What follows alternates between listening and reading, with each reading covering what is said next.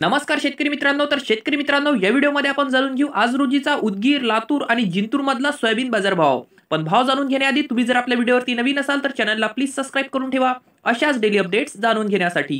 तर या व्हिडिओचा सगळ्यात प्रथम जिल्हा आहे सोयाबीन बाजार भावचा तो आहे लातूर.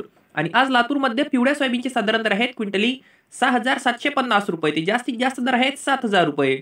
जर मित्रांनो आपण लातूरची जर गोष्ट केली तर आज लातूरमध्ये शंभर रुपयांनी सोयाबीनचा भाव वाढलेला आहे. यानंतर लातूरच्या पुढचं गाव आहे ते आहे उदगीर. आणि आज इथं मध्यम सोयाबीनचे साधारण दर आहेत सहा हजार सहाशे रुपये. ते जास्तीत जास्त दर आहेत क्विंटली सहा हजार आठशे वीस रुपये. जर मित्रांनो आपण उदगीरची जर गोष्ट केली तर आज उदगीरमध्ये तब्बल तीन हजार क्विंटलच्या वर सोयाबीनची आवक आलेली आहे. यानंतर उदगीरच्या पुढचं गाव आहे मित्रांनो ते आहे जिंतूर. आणि आज इथं पिवळ्या सोयाबीनचे साधारण दर आहेत सहा हजार चारशे पन्नास रुपये. ते जास्तीत जास्त दर आहेत सहा हजार सातशे रुपये.